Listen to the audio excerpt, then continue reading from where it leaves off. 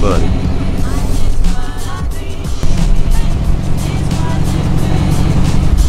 Alright guys, well I hope you enjoyed that little shorty there.